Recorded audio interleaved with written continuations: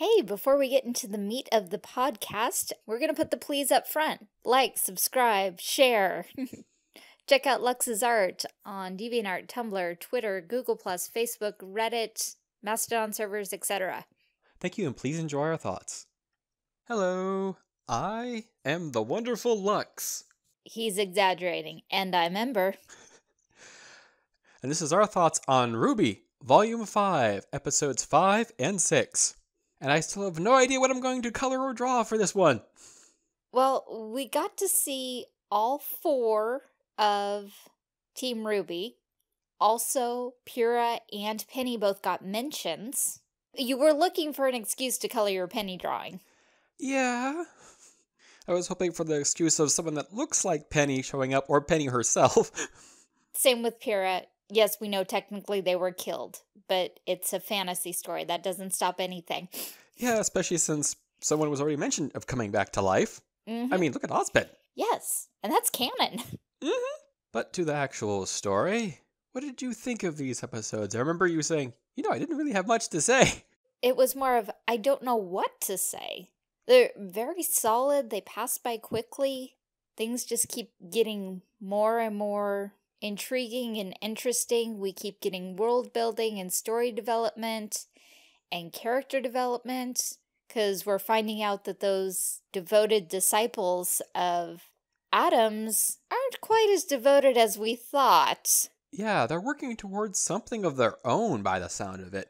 I think specifically it's whoever's best for Faunus in general, at least their view of best for Faunus in general, that they're going for. Because they already see that Adam's coming a bit unhinged.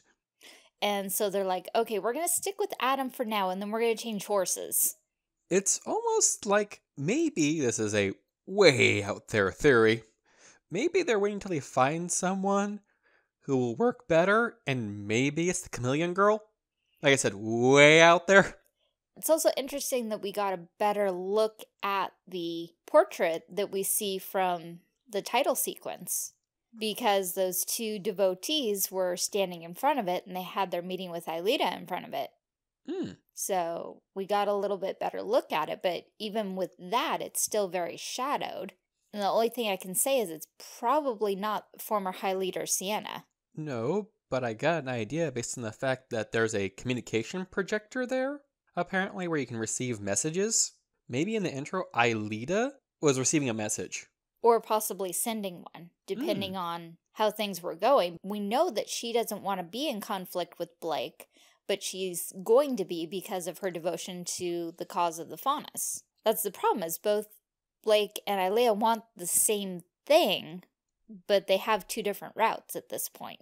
And I like the back and forth between Yang and her mother very interesting because we know that Yang was so totally obsessed with finding her mother and getting answers and that she hadn't given up that search. And now she's being offered all those things and she's tossing them aside because there's something else she considers more valuable. Her sister. Mm-hmm. Because she doesn't care if she's involved with Qrow or not.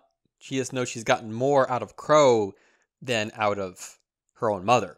Yes, though now that she's seen Raven's transformation, she's going to be thinking back to all the times she's seen that Raven. Mm, I think she even mentioned that that Raven looks familiar. Oh, she said, I've seen that Raven before. So now she knows that whenever she saw that Raven, it was actually her mother. Which is still going to piss her off because you were that close and you couldn't bother to even come say hi.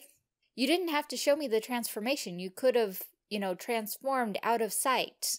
And it sounds like Ozpin may have been helpful in giving them that power, or in some way gave them that power.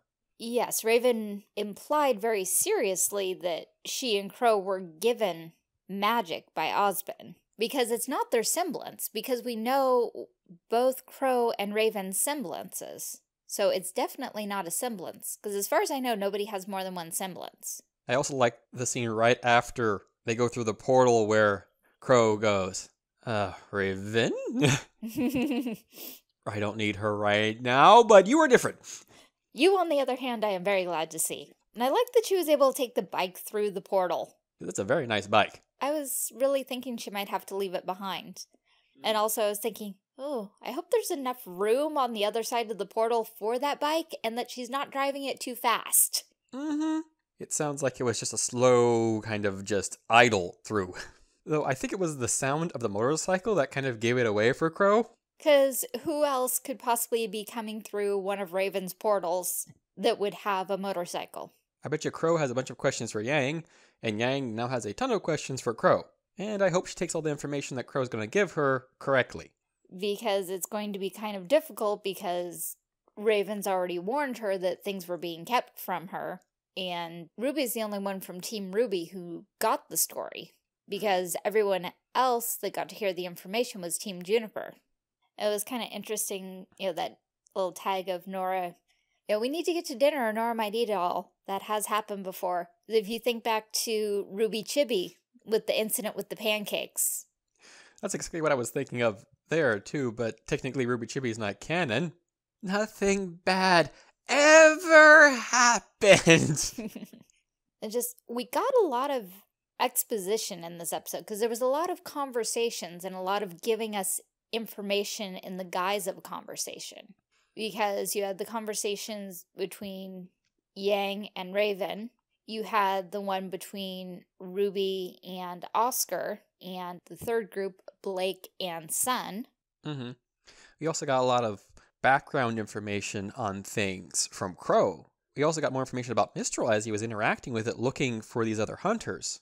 I like how you pointed that out in the intro, too. The whole, it looks like they're moving, then it pans out and they're going nowhere, which is kind of what's going on. Yes. Well, the title sequences do an excellent job of foreshadowing because it looks a little bit like the previous season title sequence because that one implies more travel and then this one looks like travel and then they're stuck and they look frustrated which is what's happening they have a course that they want to take but they're not getting anywhere and blake gives an excellent breakdown of why they're not getting anywhere because sun wasn't seeing it and a lot of people watching may not be seeing it because we're so used to seeing mostly the people from the academies who are not the everyday citizen. We mainly see people from the academies, people from the military, but when we see the common people, they're usually being rescued. And then we have the Grimm and the villains. We don't get a lot of just everyday people. I don't think we saw any of the main villains in this we saw the main secondary villain, which is all of um, the bad parts of the White Fang. Yes, but we didn't see Salem, and we didn't see any of her lieutenants, and we didn't see Cinder, but we saw the White Fang faction. And it's really interesting how he says, I have to keep a promise, going back to Adam. And that also brings up the stuff that Blake was talking about with words matching people.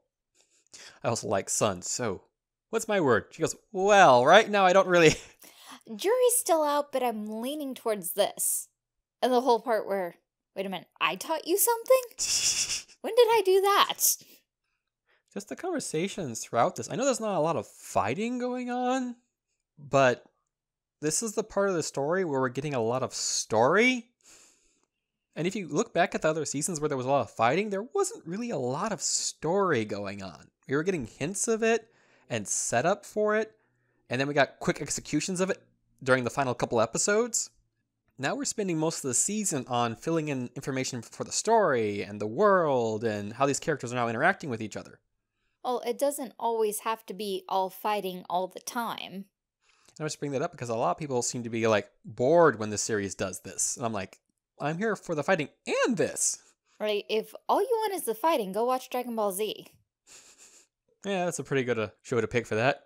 Still haven't watched much of Super, but yeah, maybe one day. So far, there's not a lot of fighting in the two episodes I watched. Are you sure they weren't just powering up a special? uh, no, no. Don't think we're to that part yet. Uh, but back to Ruby. Yes, and the conversation between Oscar and Ruby, it looked like Oscar was ready to bail. You don't put your cane in your backpack and put your backpack on to go to dinner. Hmm. Well, maybe he didn't want to leave his stuff in the training room. Entirely possible. Because we did see him later. We did, but that was after what Ruby said. And like Ozpin said, she is a spark. She can inspire others.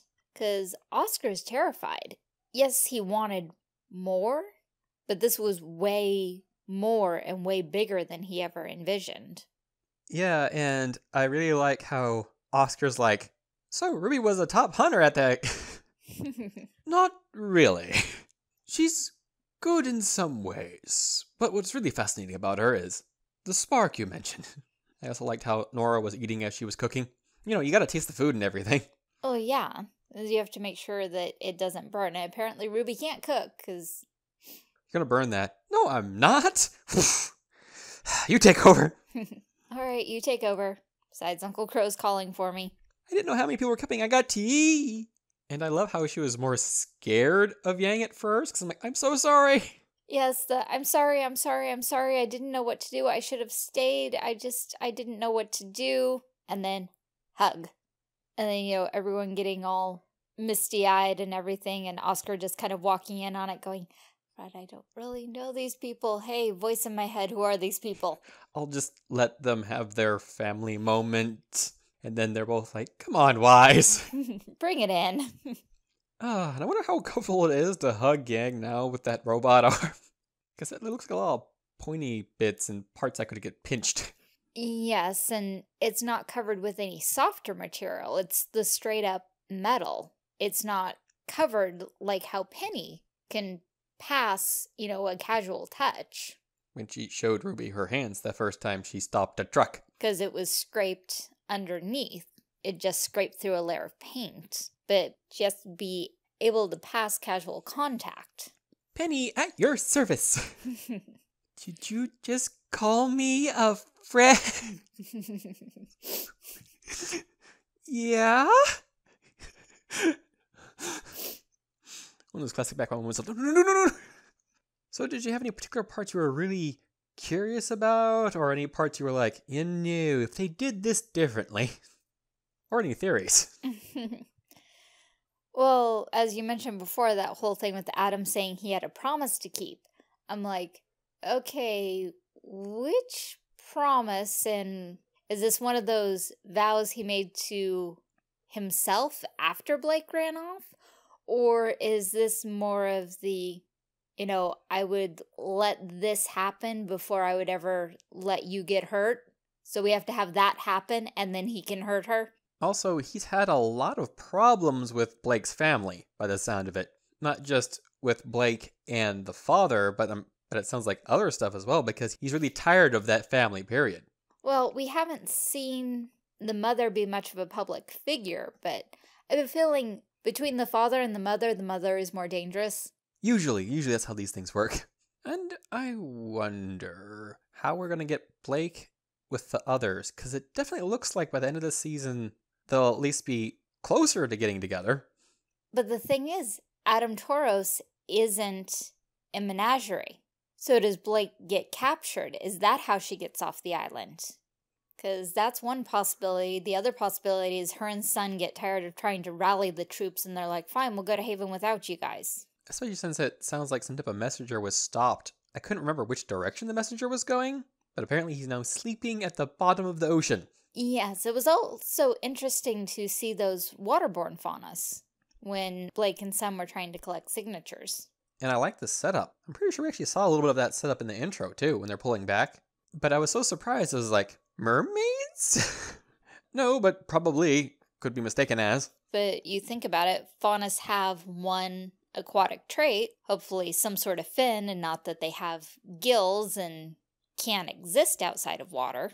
Because mm. that would get kind of awkward. Well, maybe they could have gills and be able to breathe air. Just like how Blake has cat ears and normal ears. Mm-hmm. Let's see. There was something I wanted to bring up, and now I can't remember. So please continue, and I'll probably remember one of our other conversations we're going to have here. well, you briefly mentioned Qrow's exploration looking for the other huntsmen and huntresses. So that had to be Ozpin's special list. So Lionheart sent all the special agents out on missions, and now they're all gone. And some of them have been missing for a while, and some of them have been missing for like six weeks or something. At least that's all I caught when I was reading some of the text on the wall list. And I like how Qrow was like, that's not a coincidence. Something's going on here. Yeah, because even Ozpin has said some of what Lionheart has done is in direct contradiction to the orders I left. Ah, Salem. A tricky, tricky. I almost want to say witch. Especially since there's now magic involved. Yes, that we now have a differentiation between dust and semblances, which most of us would call magic, and actual magic, which kind of makes you wonder okay, are the relics magic? Hmm, probably. Also, we didn't get any confirmation that that person's the maiden or what is the relic. Well, the relic would be at the academy, and so we only have our suspicions that that one girl is the maiden, which seems more and more likely because how many people would Raven let know about all her abilities? Because that girl definitely knew. And while she was waiting outside, Raven still allowed her to wait close enough that she was able to overhear and intervene when Yang got a little rowdy. Mm-hmm. And broke her table. At least didn't break the tea set. That was a very lovely tea set. There's so much attention to detail in these later volumes as they're able to have more time, more budgeting, better buildup of assets, improved software. Mm-hmm. Because I bet you they have a larger budget now because it's such a popular show. I mean, it's even got a Japanese company dubbing it for Japanese release. Yes, and usually all the stuff goes the other way. It's Japan exporting to the US, not the other way around. Hmm, so anything else you want to go over? Like, any new theories, any new comparisons that we haven't gone over yet for the intro and what's going to happen? Also, the fact that you apparently thought it was guns, not God. Specifically, what part so we can tell the audience. The part where you've been messing with, I always thought it was guns because in this universe, everything is also a gun. And I understood it to be God, and you listen to it again, it's like, oh yeah, that is God. Apparently, all the times I've heard this intro so far, I missed the part where they say a miracle or something. That uh, we can do this, we just need a miracle. I need to pay attention to where that line is said, because I didn't realize that's what was said until the scene passed, so I didn't have a chance to analyze the lyrics and the scene at the same time. So yeah, more and more of the intro is coming to pass. Because we now have Elena having a direct reason that she has to confront Blake. She's supposed to capture Blake. So, you know, it's probably going to start out as a calm meeting, each trying to persuade the other, and then devolve into fighting. It's getting really interesting and not boring. like I said, some people would probably look at this and go, hmm, this is filler. I'm like, none of this has been filler so far. I mean, RWBY's number of episodes and runtime don't leave a lot of room for filler at all.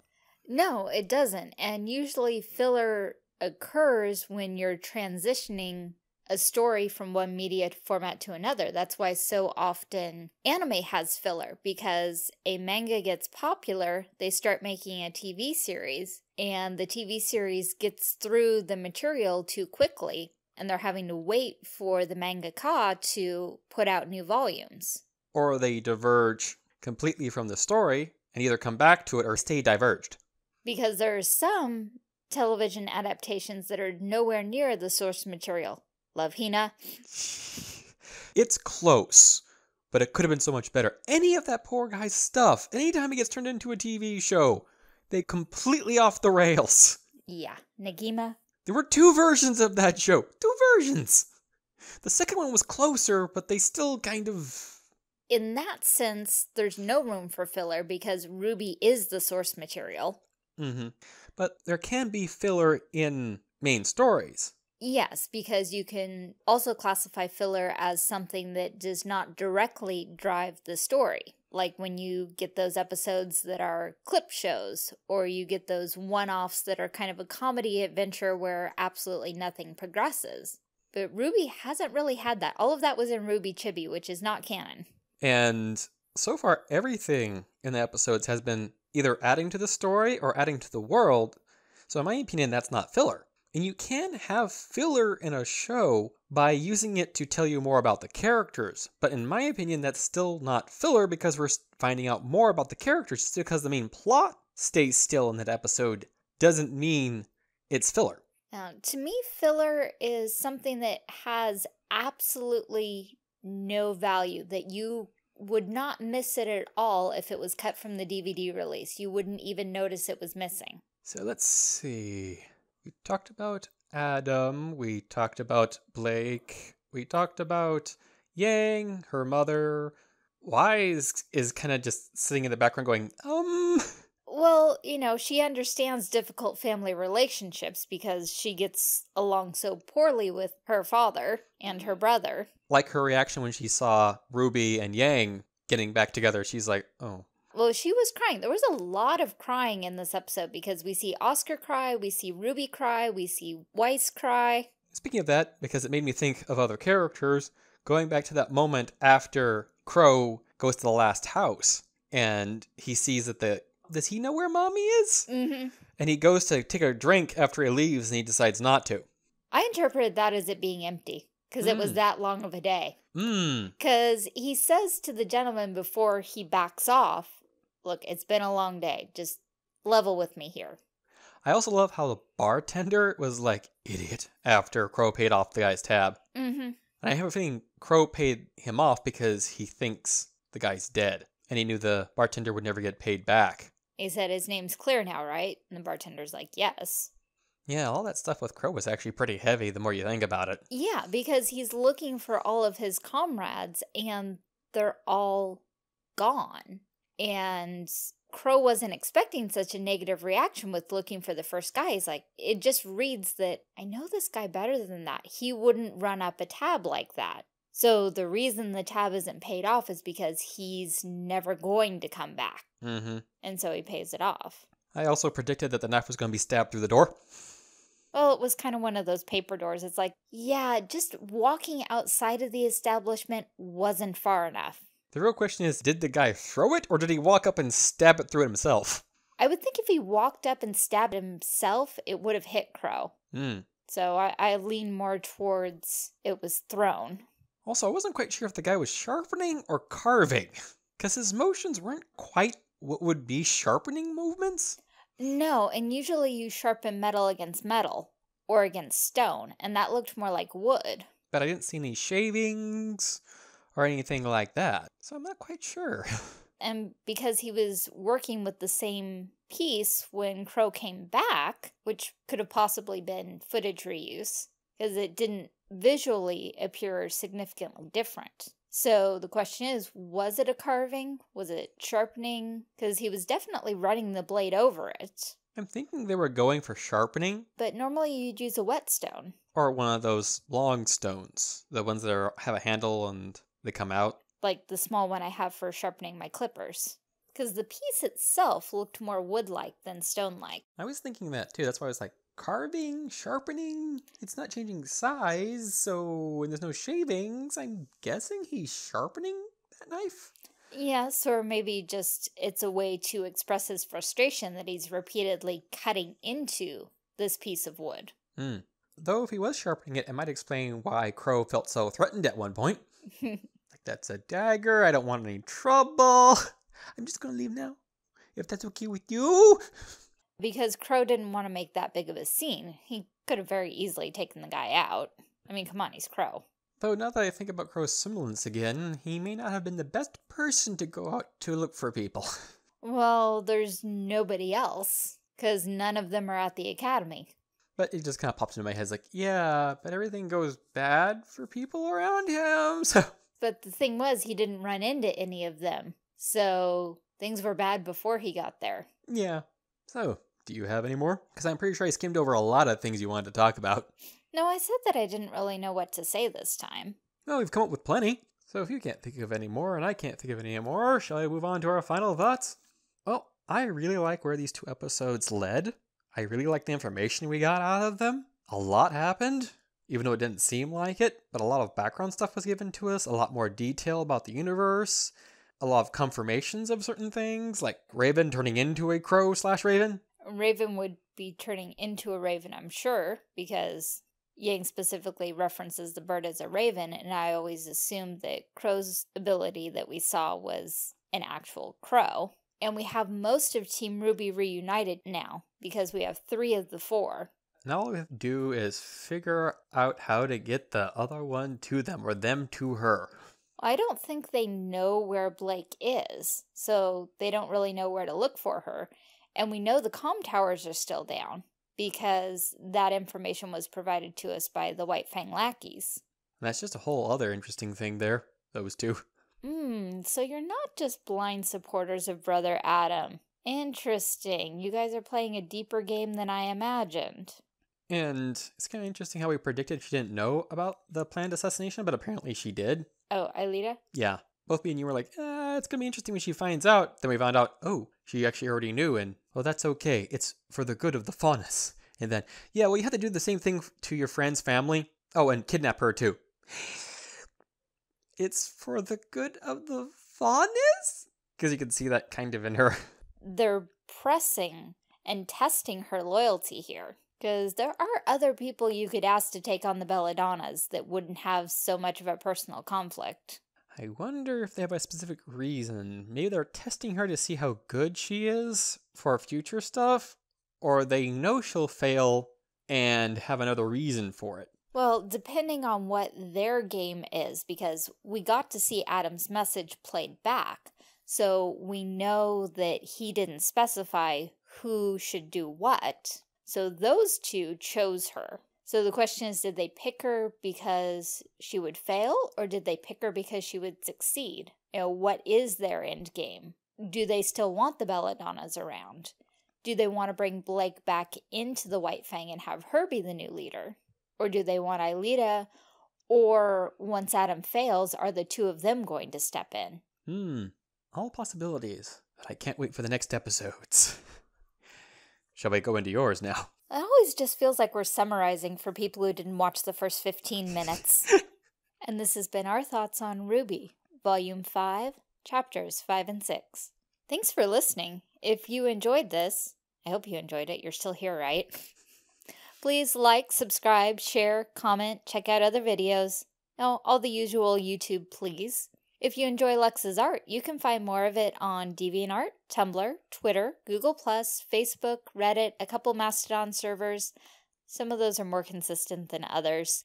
Really enjoy Lux's art and would like some personalized art of your own? He does take commissions. Check the link for pricing and availability no images rattling around in your head but still want to help out, there is both a Patreon and a Ko-fi. Patreon starts at a dollar, which provides access to monthly quick sketches with voting for future projects.